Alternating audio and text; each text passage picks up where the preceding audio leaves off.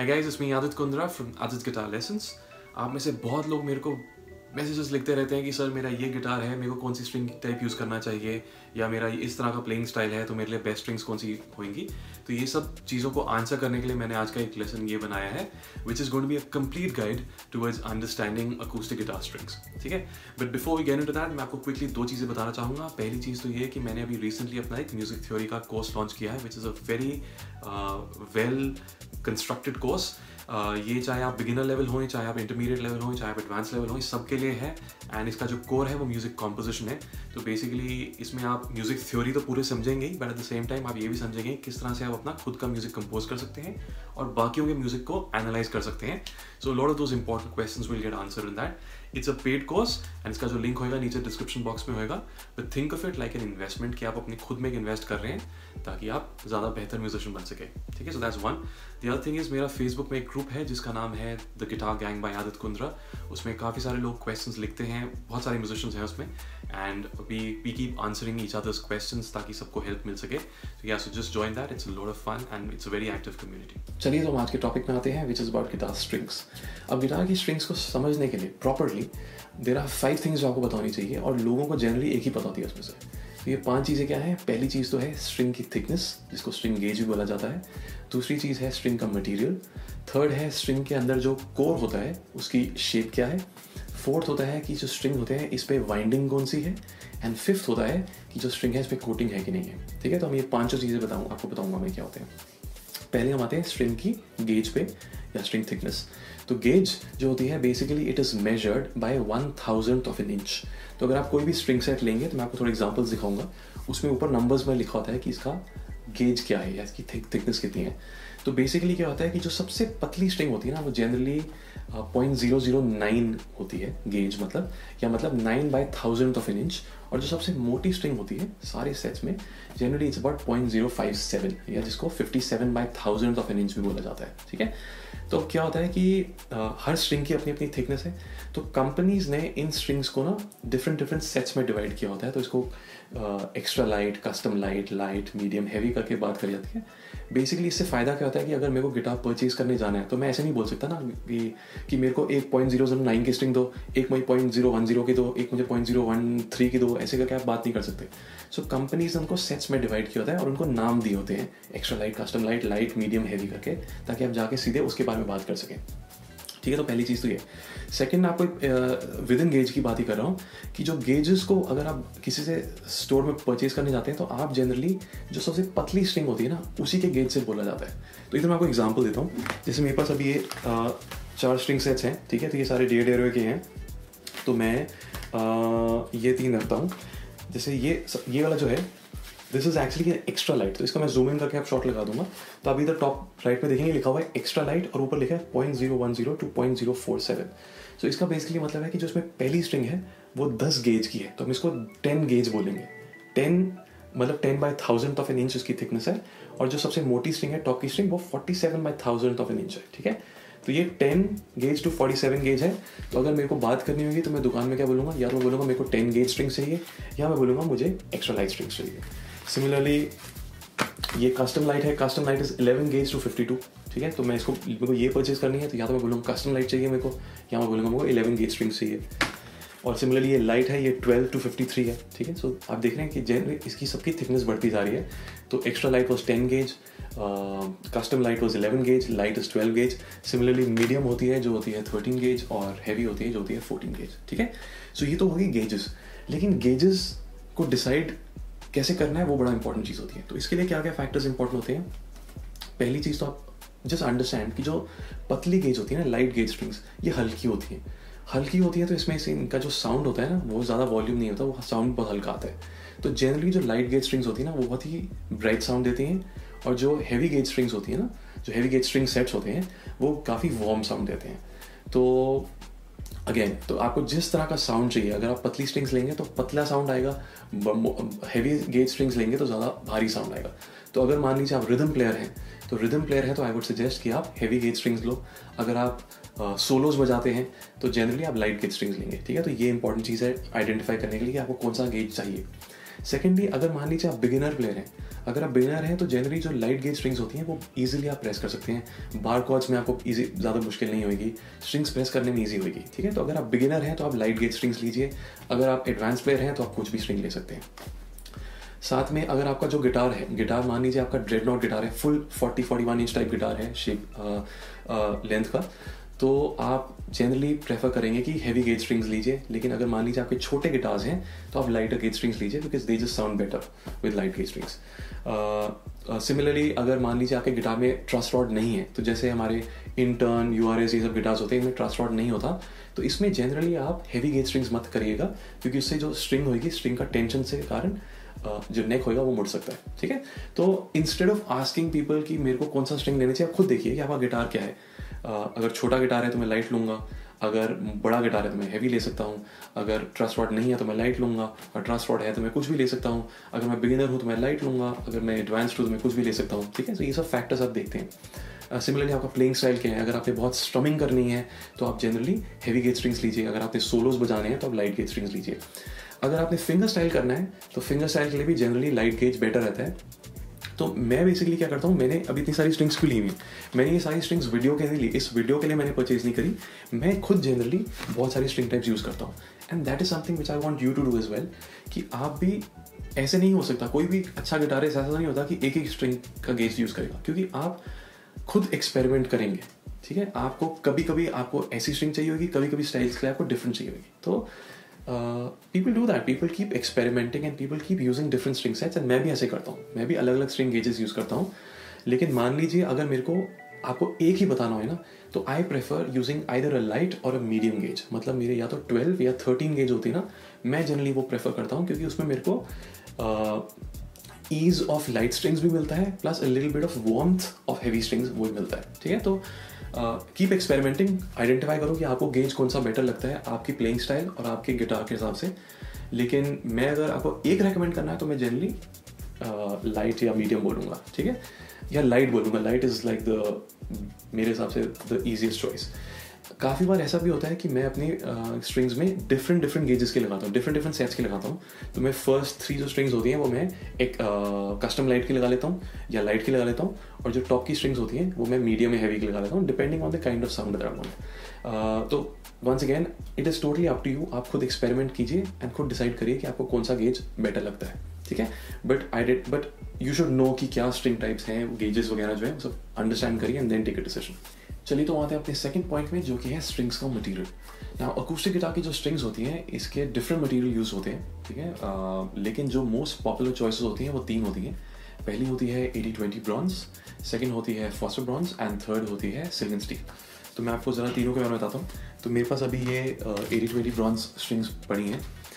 Eighty twenty का basically मतलब होता है इसमें एटी परसेंट कॉपर है एंड ट्वेंटी परसेंट जिंक है ठीक है? एंड अगर uh, अगर मैं टोन की बात करूँगा तो eighty twenty has a very bright tone but most characteristic thing about eighty twenty is इसमें जो बेस होता है वो काफ़ी nice and warm and loud होता है ठीक है? बेस इज़ वेरी लाउड तो अगर मान लीजिए आप रिदम uh, प्लेयर हैं आप खूब कॉर्ड्स स्ट्रमिंग वगैरह करते हैं then I think eighty twenty is the perfect pair for you eighty twenty में सिर्फ़ एक प्रॉब्लम है uh, थोड़ा हल्की सी डिसएडवांटेज है और वो ये है कि because of eighty percent copper with time इसमें ऑक्सीडेशन हो जाता है as a result of each the sound quality goes down मतलब इतनी जल्दी नहीं होता with time the sound quality goes down तो इसी चीज़ को अरेस्ट करने के लिए phosphor bronze strings were launched तो फॉसो ब्रॉन्स बेसिकली क्या होती है? Phosphor bronze is I think ninety two percent copper eight percent tin होता है, लेकिन इसमें फॉस्फर एडेड होता है। और फॉस्फर के एडिशन से क्या होता है कि जो कॉपर का ऑक्सीडेशन प्रोसेस होता है ना, वो काफ़ी स्लो हो जाता है।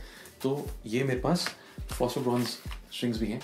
तो फॉस्फो ब्रॉन्स जैसा कि मैंने आपको बताया था, इसमें जो एटी ट्वेंटी का डिसएडवांटेज था कि with time sound quality deteriorate हो जाती है फॉस्फो ब्रॉन्स में वो नहीं होती, ठीक है? तो फॉस्फो ब्रॉन्स की अगर मैं आपको टोन टोन के बारे में बताऊँगा तो it's an extremely well balance tone तो स्पेशली जो मिड रेंज होती है ना तो आपका बेस एंड ट्रेवल तो अच्छा होता है, लेकिन mid range is also very very well balanced तो आई वुड से कि जनरली अगर मान लीजिए आप फिंगर स्टाइल प्ले करते हैं तो I think phosphor bronze is got be a good set for you लेकिन अगर मान लीजिए आप मिक्स भी करते हैं, अगर मान लीजिए आप कभी फिंगर स्टाइल करते हैं, कभी आप रिदम प्ले करते हैं तो आप श्योर नहीं है then I definitely would say कि आप फॉस्फो ब्रॉन्ज लीजिए।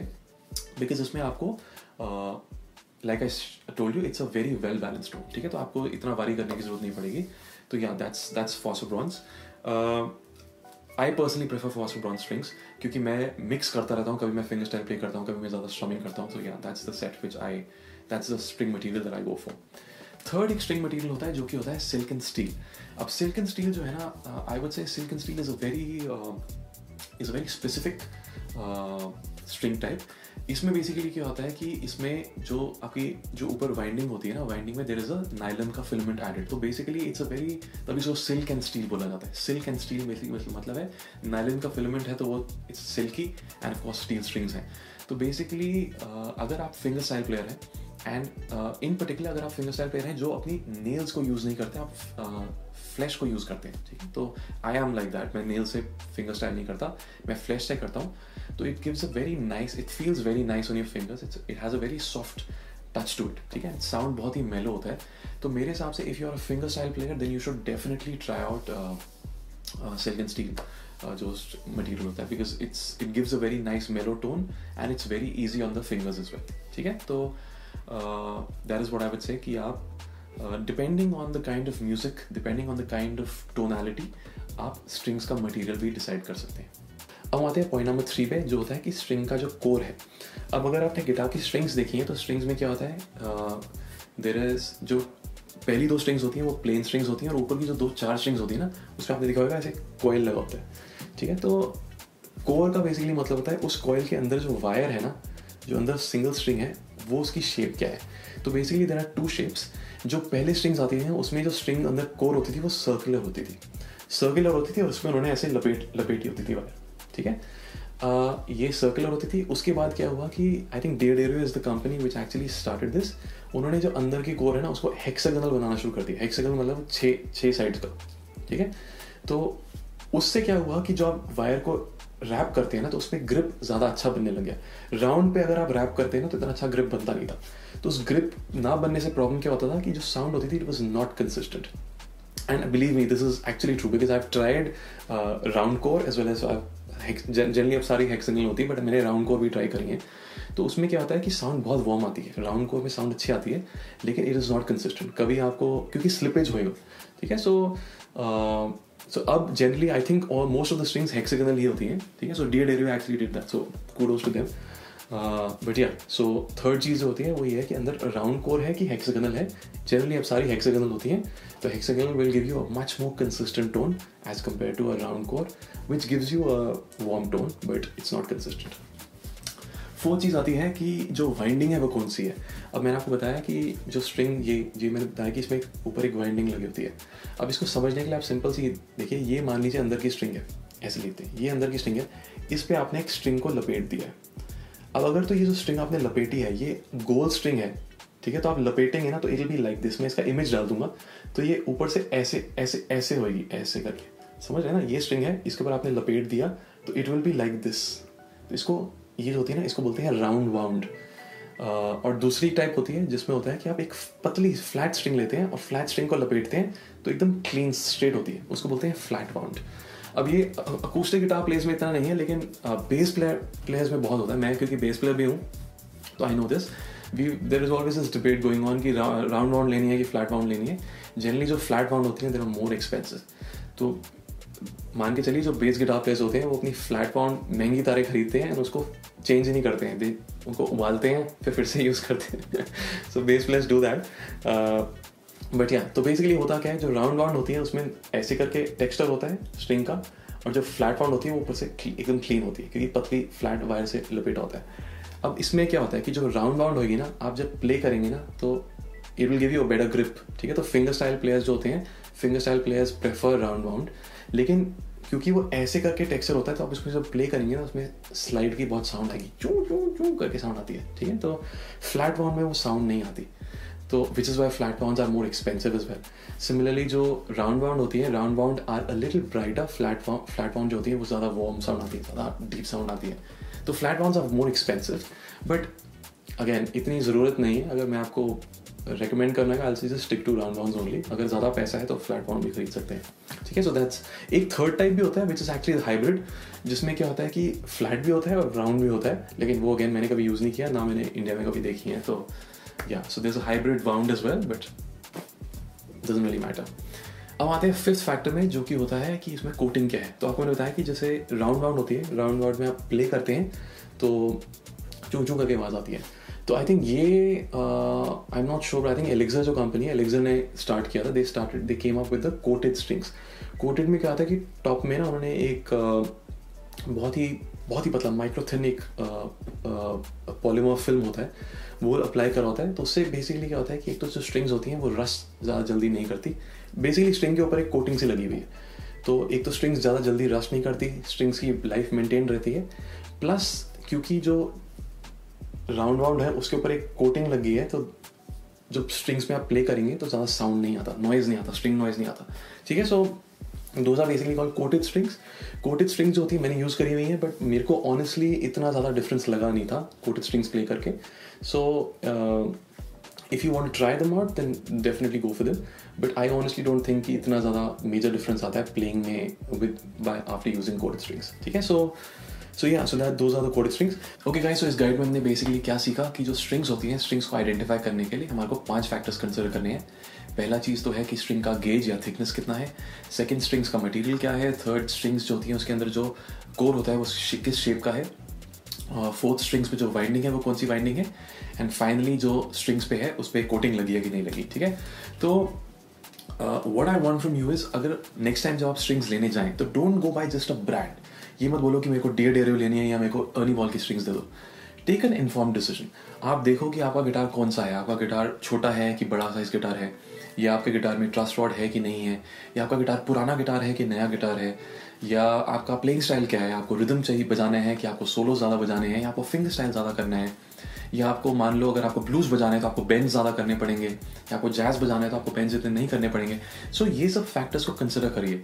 खुद अपनी प्लेइंग को देखिए खुद अपने इंस्ट्रूमेंट को देखिए एंड देन डिसाइड कि आपको कौन सा स्ट्रिंग टाइप लेना है ठीक है? With respect to brands there is no one particular brand that I recommend अगर आप मेरे को इंस्टाग्राम में फॉलो करते हैं तो आपने देखा होगा, मैं अपनी स्टोरीज में डालता रहता हूँ कि मैंने ये कंपनी का स्ट्रिंग चेक ट्राई करा, ये करा। ठीक है? So I have tried Ernie Ball I have tried Elixir I have tried Rotosound I have tried D'Addario there is no particular brand that I like but I would say कि I have a soft corner for D'Addario strings because multiple reason एक तो इनकी string quality is very consistent sound is very consistent and का जो price होता है ना price is also very reasonable ठीक है? तो I kind of prefer D'Addario but again आपकी मर्ज़ी है यू डिसाइड कि आपको कौन सा string you experiment and then decide आपको कौन सी अच्छी लगी। बिगिनर्स uh, के लिए आई वुड से कि डी डेरियो में एक बहुत सही uh, चीज़ होती है। फीचर होता है कि इनकी सारी जो स्ट्रिंग्स होती हैं इनके जो एंड में बॉल एंड्स होती हैं ना उसमें उन्होंने कलर की होती हैं और उन कलर्स के ना उन्होंने ऐसे पूरा पिक्चर लगा दूँगा उन्होंने लिखा होता है कि फ़र्स्ट स्ट्रिंग कौन सी है सेकंड स्ट्रिंग कौन सी है सो so, आपको कन्फ्यूज़न नहीं होगा कि स्ट्रिंग कौन सी लगानी है okay so that's very much all the information जो मैं आपको देना चाहता था इस गाइड में ठीक है I really hope you enjoy the lesson अगर आपको वीडियो अच्छा लगे तो please give it a thumbs up and share it with your friends. This is I'll be seeing you guys in the next video. Bye.